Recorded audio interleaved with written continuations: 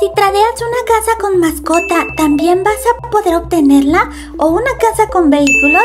¿Hasta cuántas casas se pueden tradear? Bueno, todas esas respuestas en este video. Estoy muy feliz de verte de nuevo. Yo soy Yanni. Deja ahora mismo like, suscríbete a mi canal, es gratis, solicite gracias. Recuerda usar mi código Nielica en la tienda de Roblox. ¡Qué chisme potente traigo hoy! Y es que en este video, ¿what? ¿Por qué está nevando? Ni siquiera es Navidad o fin de año y aquí hay personas con casas de jengibre. ¿Qué está pasando? El tema ha respondido muchas preguntas con respecto al nuevo trade de casas. ¿Cómo se va a poder realizar?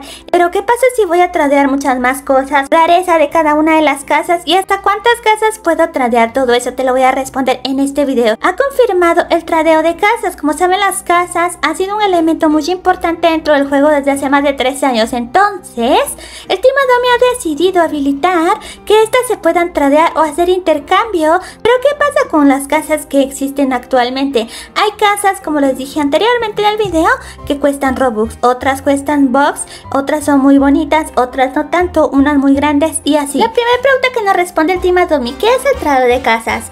Intercambio de casas es justo como lo que suena, intercambio dentro de Adobe de casas por cualquier ítem del catálogo. ¿Cuáles casas pueden ser intercambiadas? Cualquier casa dentro de Adobe pueden ser incluidas dentro del menú de trade, exceptuando la casa VIP. Esto es lo que nos dice Adobe. ¿Cuál es la casa VIP? Pues es la casa que dije antes que se puede obtener comprando el pase VIP. Y es justamente esta casa que tiene la casa que incluye una limusina, un hueso dorado, etiqueta hecha VIP y 100 bucks. Esa casa es la única que no se puede intercambiar. Después de esta, pues todas se pueden cambiar. El bichito este se durmió. Para canjear en la parte de afuera de las casas va a aparecer este símbolo que quiere decir que la casa está disponible para trade y que la persona está aceptando ofertas por ella y vas a poder acceder directamente al menú de tradeo para poder intercambiarla. ¿Qué pasa si no puedo intercambiar mi casa? ¿Por qué? Esta pregunta será muy frecuente y es que el Team nos confirma que si tienes únicamente solo una casa en tu inventario no vas a poder tradearla. Así que si solo tienes una, no va a ser posible cambiarla. Compra una casa extra para poder intercambiar la casa y así recibir algo de tu interés, por ejemplo una mascota. ¿Qué objetos puedo intercambiar con las casas? Absolutamente todo lo que se puede intercambiar. Recuerda que tenemos mascotas o objetos que no son intercambiables, así que estos no entran dentro de la lista y la casa VIP no se puede intercambiar, así que toma en cuenta eso. Todos los objetos que están disponibles para canje se podrán cambiar por cualquier casa. Pero ¿qué valor tendrán las casas? Eso ya va a depender también de la rareza de la mascota. Considera que algunas que cuestan Robux pueden tener un valor similar a mascotas limitadas legendarias, como el Dragon Frost, entre otros así como otras casas que también son muy baratas que se pueden obtener también en el menú, ya sea en la parte de afuera cuando compras una casa. Es justamente en este menú, al darle clic o tap sobre la pantalla que nos va a aparecer la cuarta opción que va a ser poner la casa para intercambio o habilitar casa para intercambio y las personas tendrán que acercarse para poder enviarnos trade. Funciona casi igual que el stand de intercambios en donde tú pones lo que quieras de intercambiar en el centro del mapa. Puedo usar el stand de intercambio para poder poner mi casa a la venta o para intercambio? La respuesta es no. Según lo que nos dice el Team Adobe en su blog, no va a ser posible poner las casas en el stand de intercambio debido que las casas no son accesibles desde el inventario. Como saben, al momento de dar clic nos aparece la opción de seleccionar objeto y en ninguno aparecen las casas. Únicamente se va a poder hacer intercambio mediante el menú que va a aparecer aquí en la casa y la opción de las casas disponibles en todo el mapa. Así que lamentablemente el stand intercambio no se va a poder utilizar en este caso por motivos de que aún no se ha podido programar el menú de casas dentro de nuestro inventario así que únicamente con el símbolo de la casa para intercambio es como se va a poder acceder a esta función. ¿Por qué no puedo remover mi casa de la ventana de intercambio? El tema nos responde que para prevenir que otros usuarios quieran Modificar la casa tal cual se encuentra hasta el momento no se va a ser posible eliminar hasta que se complete el canje o más bien hasta que la persona decida cancelar o no.